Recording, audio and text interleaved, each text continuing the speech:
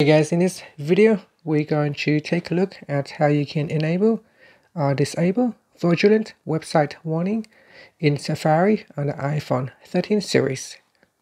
First, let's go back to your home screen by swiping up at the bottom of the screen. And on the home screen, tap on Settings. In Settings, go down and tap on Safari.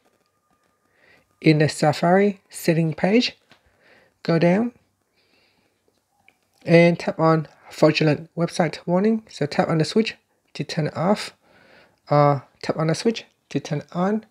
Now by default, this setting is turned on. So whenever you go to a website that looks uh, suspicious and the system uh, detects that website is a no-go zone, it will warn you. And uh, finally, you can uh, swipe up to go back to your home screen. Thank you for watching this video. Please subscribe to my channel for more videos.